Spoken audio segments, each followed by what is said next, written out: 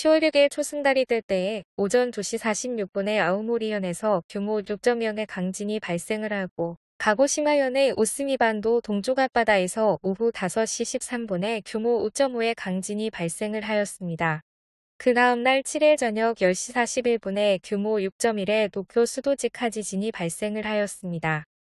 초승달과 보름달 전후에는 달의 인력의 영향으로 큰 지진이 일어나기 쉽기 때문에 내일 20일 일본을 강타하는 강한 저기압의 영향으로 일본 도호쿠와 홋카이도에 계절적인 큰 영향을 주게 되는 20일 수요일과 그 이후 며칠 동안 큰 지진이 발생할 수도 있습니다.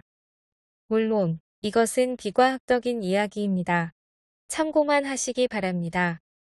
동일본 대 지진 발생 한 달 전에 기후연에 군발 지진이 있었기 때문에 지난달 9월 19일에 기후연에서 군발 지진이 있었으므로 10월 말까지는 강진에 주의하시기 바라고 바누아투에서 최근 계속해서 강진들이 발생하고 있으므로 도호쿠 지역에 계시는 분들은 강진에 주의하시기 바랍니다.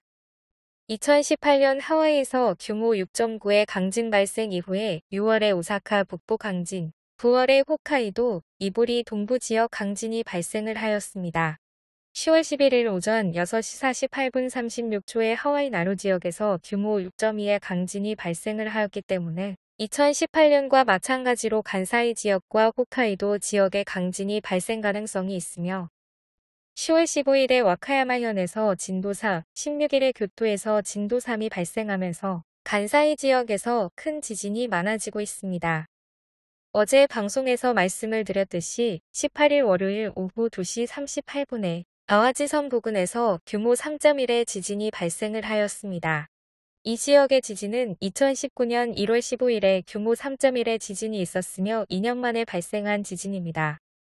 원래 아와지섬의 지진은 1년에 한 번 발생할까 말까 하는 정도로 거의 지진이 없는 지역이며 2013년 4월 13일에 진도 6약의 강진이 발생하여 많은 피해가 발생했으며 1995년에는 한신 아와지대 지진이 발생을 하여 엄청난 피해가 발생을 했었습니다.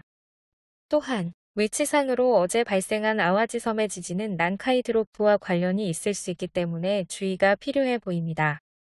최근 일본과 미국에서 군발 지진이 자주 발생을 하고 있습니다. 미국의 경우에는 캘리포니아 샌안드레아스 단층 지역에서 군발 지진의 발생 횟수가 위험 수위를 초과한 것으로 보입니다.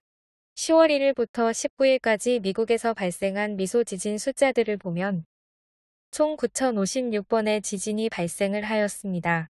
위치를 보면 샌프란시스코 이쪽부터 오레곤 지역, 포트랜드, 워싱턴, 올림피아, 타코마 시애틀, 빅토리아, 밴쿠버 섬 포트 알버니 지역까지 넓게 분포되어서 군발 지진들이 10월 1일부터 19일까지 총 9,056번이 발생을 하였습니다.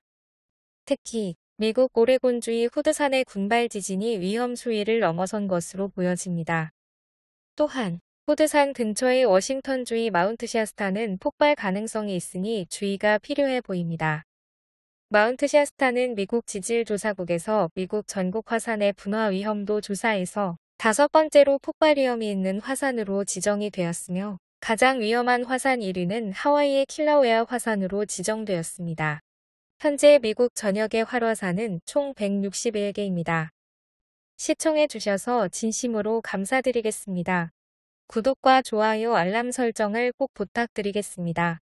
이 채널을 운영하는 데에 큰 힘이 됩니다. 감사드립니다.